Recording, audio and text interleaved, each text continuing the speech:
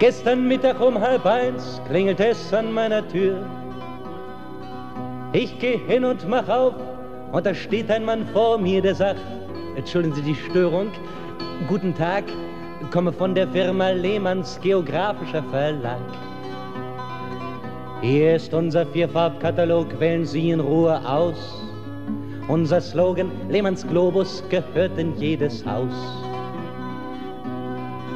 Wenn Sie mir gestatten, rate ich Ihnen Modell 8, wird von innen her beleuchtet und aus Plexiglas gemacht.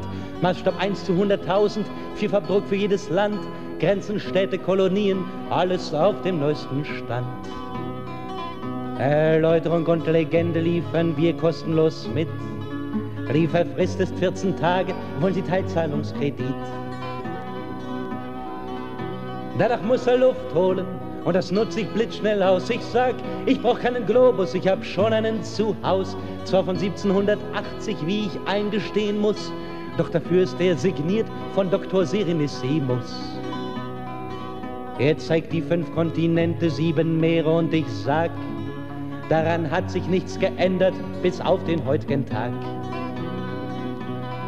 Denn wozu brauche ich ihre Grenzen und wozu die Kolonien?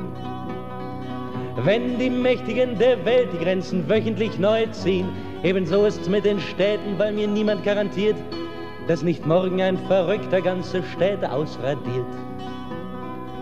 Und wenn die Versuche glücken, sprengen die die ganze Welt. Geben Sie zu, dann ist sein Globus doch nur rausgeschmissenes Geld.